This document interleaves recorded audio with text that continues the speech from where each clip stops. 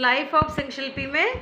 आपका स्वागत है। आपका स्वागत है और मैं और अभ्यांश आ गए स्कूल से और अभ्यांश खाएगा अब ऑरेंज क्या खा रहा है बेटा? ऑरेंज और एक आइसक्रीम और चीकू। आइसक्रीम और चीकू इतनी सारी चीज़ें। चीकू रहने दो आइसक्रीम और ऑरेंज और मैंने वो बना रखी खीर आपके लिए वो खा लेना ठीक है? हाँ, और ये दो दो ऑरेंज हाँ टू टू ऑरेंजेस तो फ्रेंड्स सुबह का ब्लॉग नहीं ले पाए लेकिन अभी हम आपसे स्कूल से आने के बाद मिल रहे हैं। आई होप आप लोग अच्छे होंगे स्वस्थ होंगे मस्त होंगे। स्कूल से आने के बाद वही हमारा सेम रूटीन है।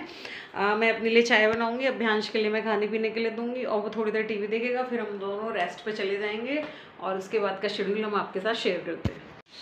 तो फ्रेंड्स ये इतनी जम गई है रबड़ी की ना चम्मच उठाना तो भी उतरी है बाबू इतनी जम गई है। कल क्या किया था? मैंने अभ्यांश ने अपनी रबड़ी ना जमा दी फ्रीजर में आइसक्रीम बना ली अब हम उसे खाएँगे दोनों। दो पापा ने खा ली थी ना वो मामा को दे दी। हो चुकी है रात और मैं कर रही हूँ डिनर की तैयारी। और अभ्यांश और पापा कहाँ जा रहे हैं? घूमने? जाओ चलो। बाय पापा और अभियान जा रहे हैं घूमने और मैं बनाऊँगी वेज पुलाव, जिसकी मैंने चॉपिंग कटिंग सब करके रखा हुआ है, मैं अभी दिखाती हूँ।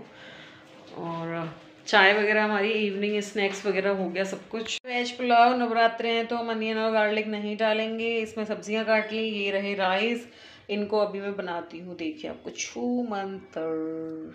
रख दिया राइस बनाने के लिए और इसमें हम डालेंगे जीरा। और थोड़ी सी राई। और इसमें हम ये डालते हैं अपने कटे हुए चॉप्ड टोमेटोज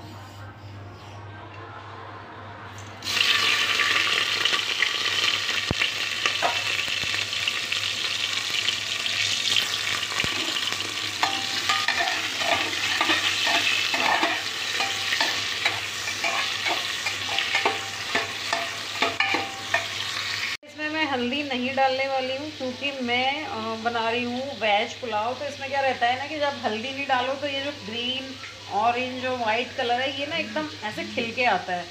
तो मैं सोच रही थी कि हल्दी ना डालूँ, थोड़ा अलग से एक्सपेरिमेंट करते हैं। और यहाँ मैंने चावल भिगो के रखे हैं अपने। हमारे हो गए सॉटे अब इसमें हम अपनी ऐड कर देंगे बाकी वेजिटेबल्स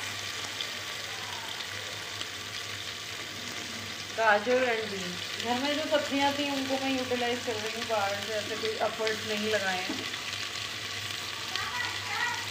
वेज पुलाव बनेगा। आप कुछ भी खाओ, लेकिन उसमें ग्रीन वेजिटेबल्स ज़्यादा ऐड करके रखो तो वो हेल्थ के लिए अच्छा ही रहता है। ये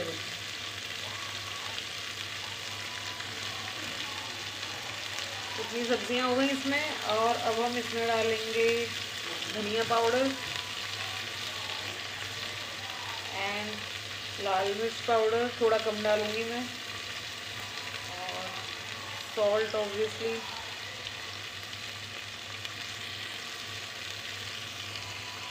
इसमें रोस्टेड जीरा। और इसको भाई खिला लेंगे अब।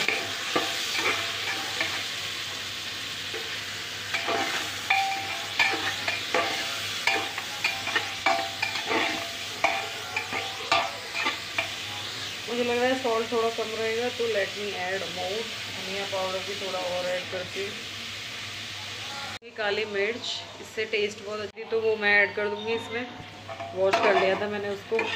इससे थोड़ा सा ना बच्चे के लिए राइस ठंडा नहीं होता, वो ठीक लगता है थोड़ा सा इसमें ऐड करती हूँ, पाव भाजी मसाला। मुझे आजकल पाव भाजी मसाला हर चीज़ में डालने का बड़ा शौक चढ़ गया है।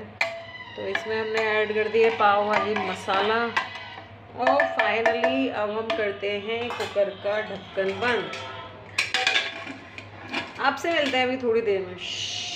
रेडी खाने के लिए डिनर में। अभ्यास आ जाओ। ओ भाई, हमारा तो पुलाव रेडी है। वेज पुलाव। अब इसको थोड़ा चला लेंगे, मिक्स कर लेंगे। भाई, मुझे तो बहुत अच्छा लग रहा है दिखने में। With healthy veggies. सारी इसमें हेल्दी सब्ज़ियाँ हैं, अब इसको परोस के हम सर्व करके खाते हैं। ये हमारा पुलाव है रेडी यम्मी यम्मी फ्रेंड्स आप भी आइए एंजॉय करिए। क्या पुलाव बना है, वाकई colour texture with healthy nutrients वाह हम लोग एंजॉय करते हैं अपना पुलाव। एंजॉय करती हूँ अपना healthy happy dinner hope you like this blog like share and subscribe ज़रूर करिए। Thank you so much for the watching